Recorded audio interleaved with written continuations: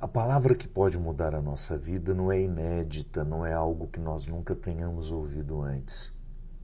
A diferença é quando ouvimos, como ouvimos.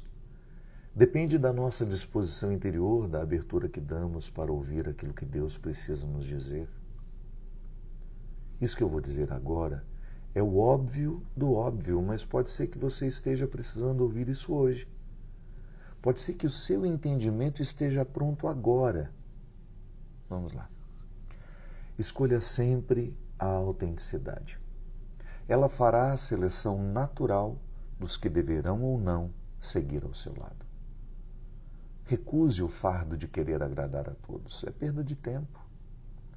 Buscar a unanimidade pode gerar escravidão. Bom mesmo é estar com os que não lhe imaginam, com os que escolheram conviver com a sua verdade. No mundo há bilhões de pessoas. Por que insistir em ficar ao lado de quem não valoriza a sua essência?